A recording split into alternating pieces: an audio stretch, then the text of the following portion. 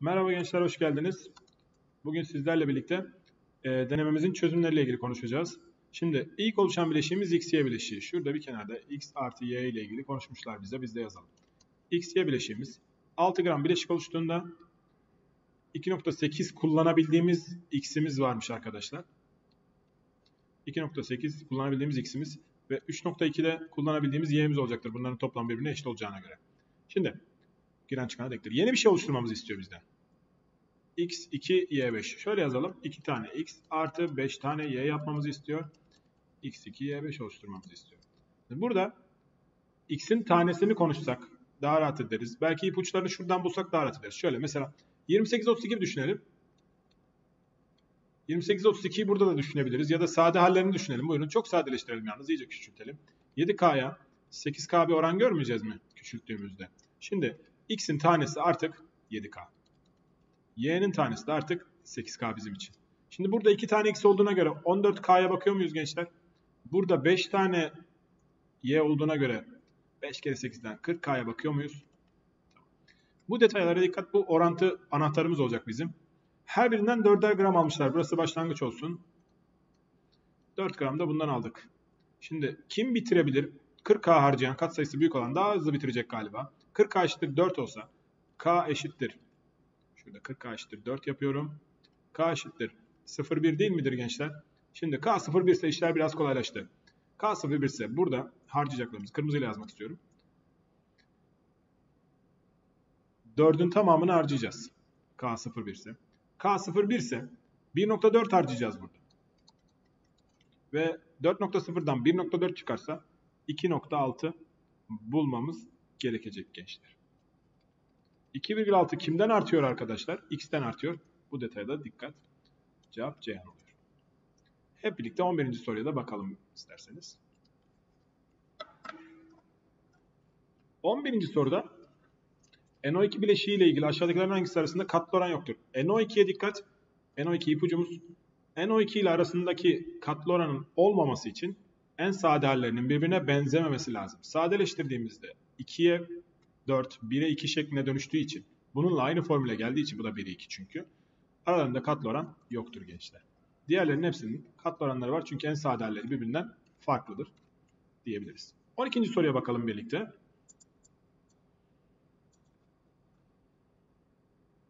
On ikinci soruda iki farklı bileşiğimiz verilmiş. Böyle iki farklı bileşikle ilgili şunlar isteniyor. Birinci bileşiğin formülü x2'ye olup %50'si ve %50'si var elimizde. Bunları 1'e 1 diye düşünebiliriz. 1'e 1. 1x 1k olsun diyelim. 2 taneye de 1k. Yani x'in tanesi eşittir k. y'nin tanesi eşittir k bölü 2. k bölü 2 diyebiliriz. Şimdi yeni bir şey oluşturuyor bana. x a y b. %40x. Yazalım. x a tane. Bilmiyorum kaç tane olduğunu. E, b tane de y var. Bunlardaki durumu söylemiş bize. %40'ı bu. 60'ı da bu o zaman arkadaşlar. Değil mi? Sadeleştirdiğimizde ne görüyoruz? 2'ye 3 değil mi? Peki k'lardan 2'ye 3 oranını nasıl elde ederiz? Hangi e, katsayılarla elde edebiliriz? E, elimizde x'lerden 2 tane olsa 2k olacak. Değil mi? Ama y'lerden 6 tane olmalı ki belki de. Büyük bir sayı olmalı değil mi arkadaşlar? Ya da 2'ye 6 yerine 1'e 3'ü de kullanabiliriz değil mi acılar? Var mı bir problem bu fikrimle ilgili? Şöyle. Burada 2 elde etmek için 2K yazdığımı düşünün. Burada 3 elde etmek için hani yerine yazdığımızı düşündüğünüzde 6K koymuş oluyorum. 2'ye 6 değil de 1'e 3 yazmam gerekiyormuş. Aralarındaki oran için 12'nin cevabı Adana oluyor gençler. Sade halini yazmamız gerekiyordu hatırlarsınız. Birlikte 13. soruya da bakalım. Mol kavramı ile ilgili sözel bir soru var.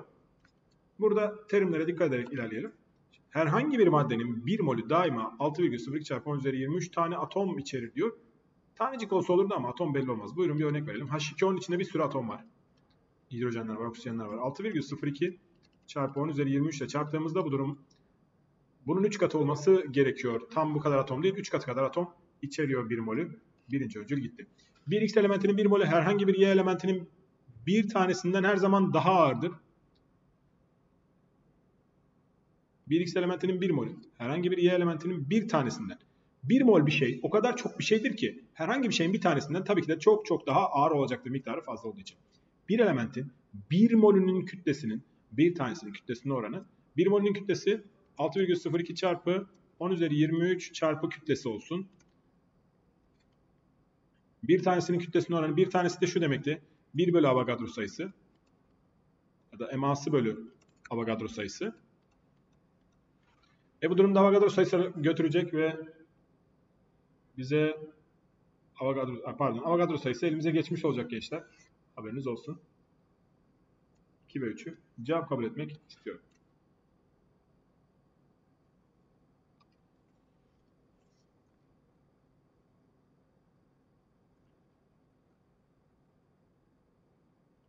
On dördüncü sorudayız. On dördüncü soruda yukarıdaki sabit hacimli sistemin yoğunluk iki katına çıkacak şekilde CH4 ekleniyor. Şimdi şu andaki yoğunluk nedir ki? Bunu bulalım birlikte. Şöyle bulacağız.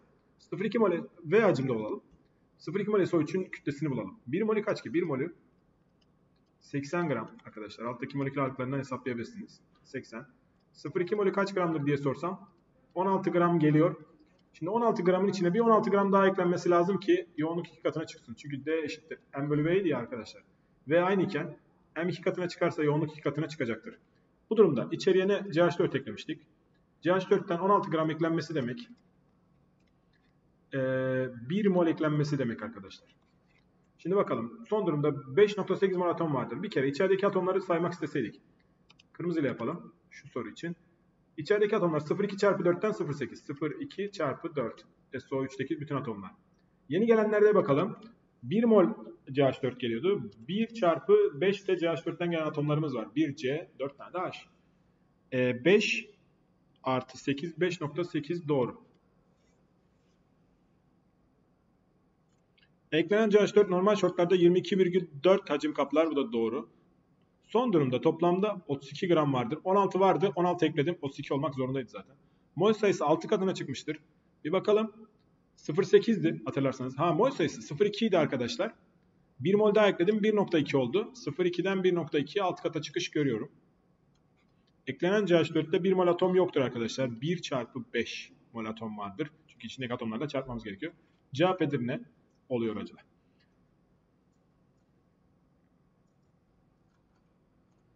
...15 numaralı soruda... ...eşit sayıda oksijen atomunu ayarlamamızı istiyor bizden eşit sayıda oksijen atomu içeren SO2, SO3 gazlarından oluşan bir karışımın toplam kütlesi 70,4'tür. Oksijen sayılarını nasıl eşitleriz? Burada 2 var, burada da 3.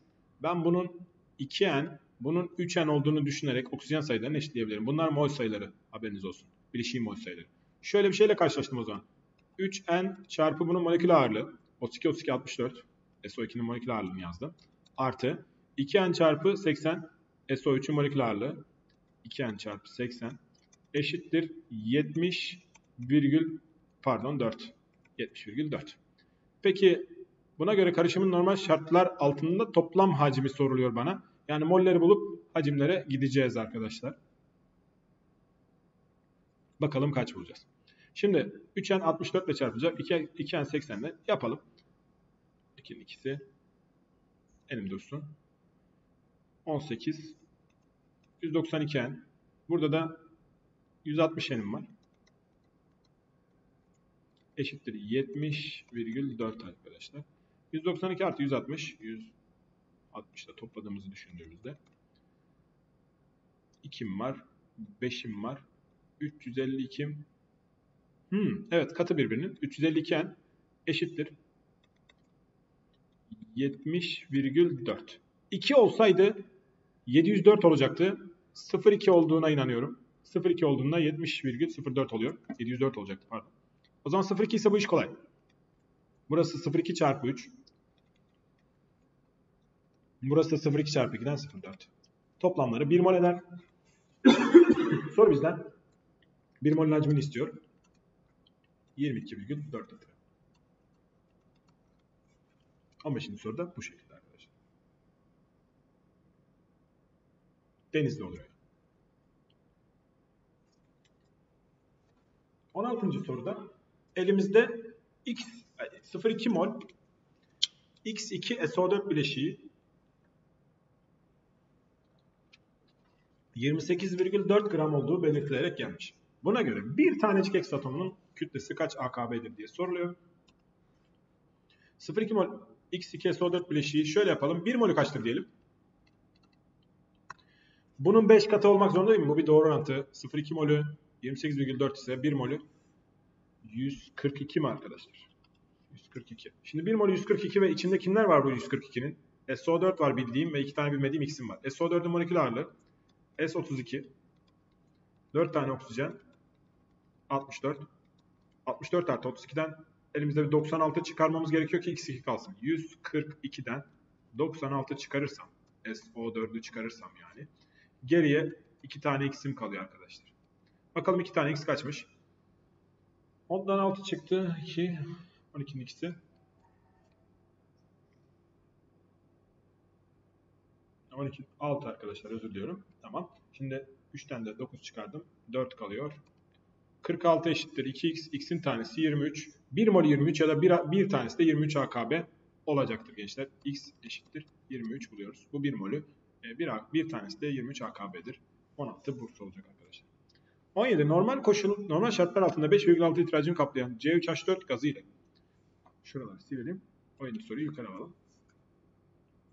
Normal şartlar altında 5,6 litre hacim kaplayan C3H4 gazı ile 0,1 mol X CO3 gazının kütleleri eşit. Şimdi bu 5,6'yı 22,4'e bölsem bir